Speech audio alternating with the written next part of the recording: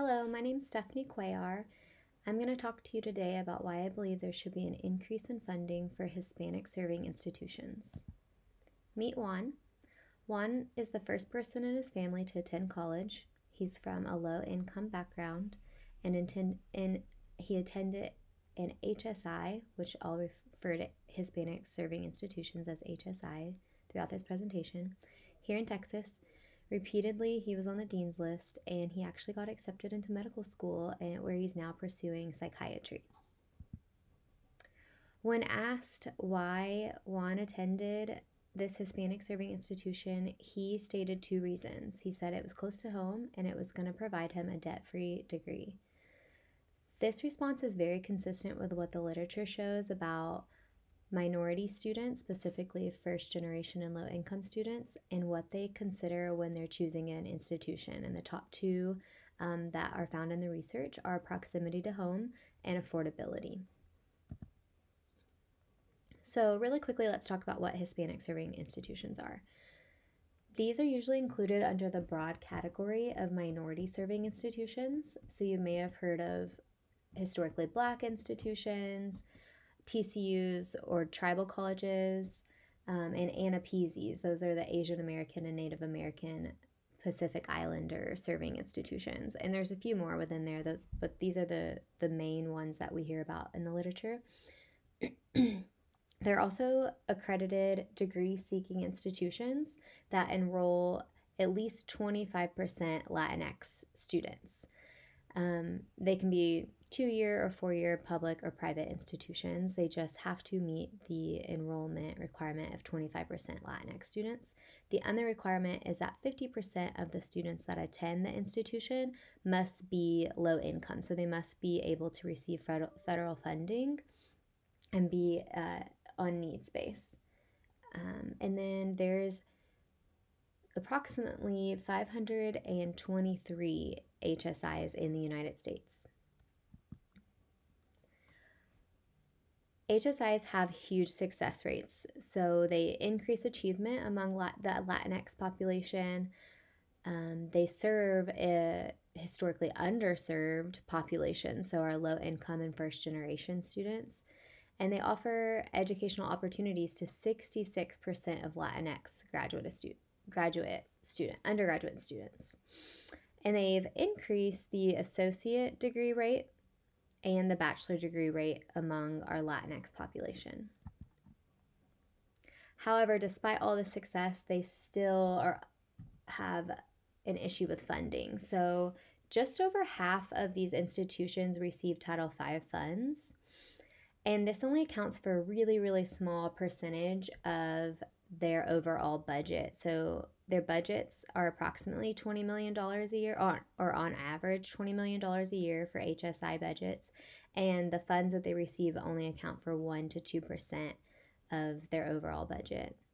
Additionally, for every $1 that other institutions receive, Hispanic serving institutions only receive 68 cents of federal funding from the government. So 68 cents to every dollar for other institutions that are federal federally funded or receive federal funding. And there are approximately 328 emerging Hispanic serving institutions in the United States, which means they don't quite meet meet that 25% enrollment threshold, um, and they're anywhere between 15% to 24.9% Hispanic enrolling.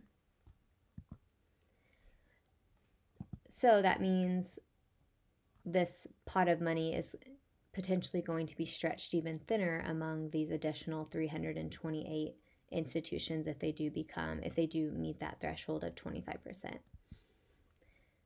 So, some of the controversy that surrounds funding minority serving institutions um, or Hispanic serving institutions are it's framed in a larger picture of why we shouldn't fund minority serving institutions.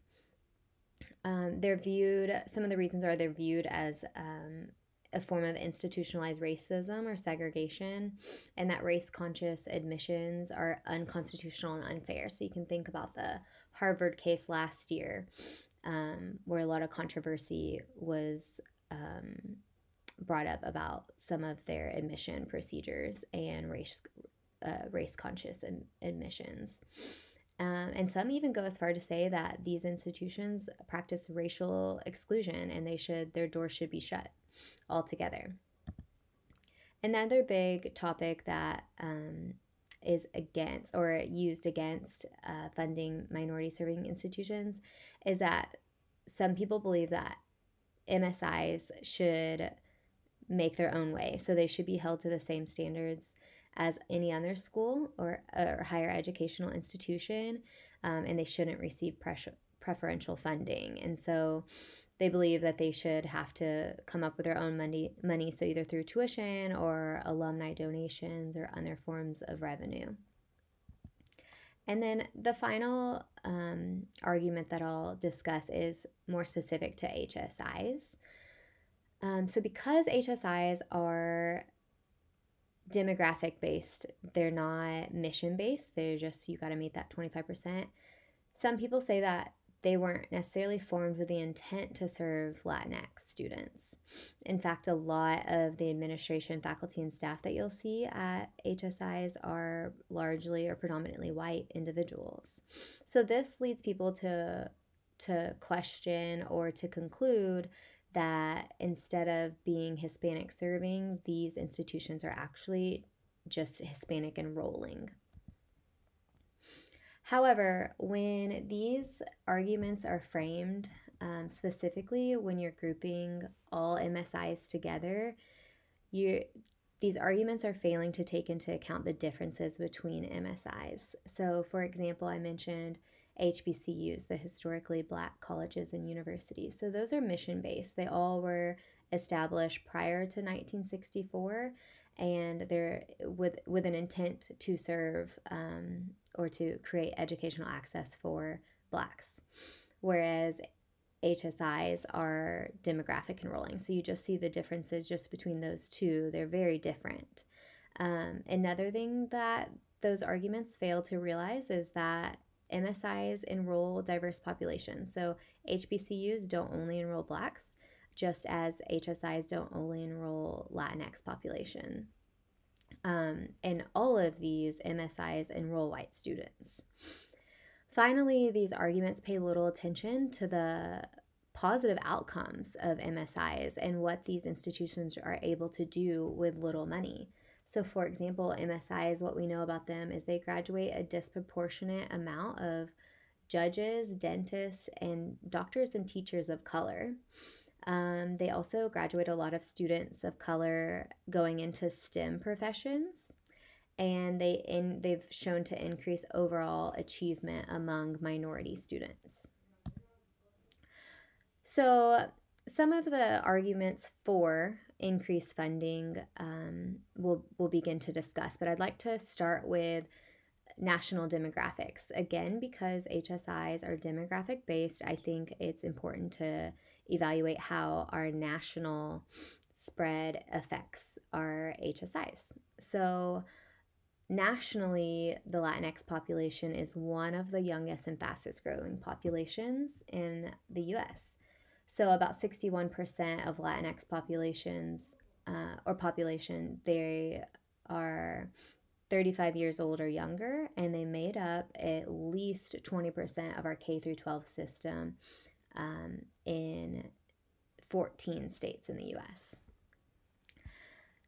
And um, secondly, the US reached a historic high um, in 2018 with over a million million increase in just 2017 alone. So there are about 60 million Latinx individuals in the United States now. and the number of HSIs has increased. Just within a 10 year span, it increased by 80, or excuse me, 98%.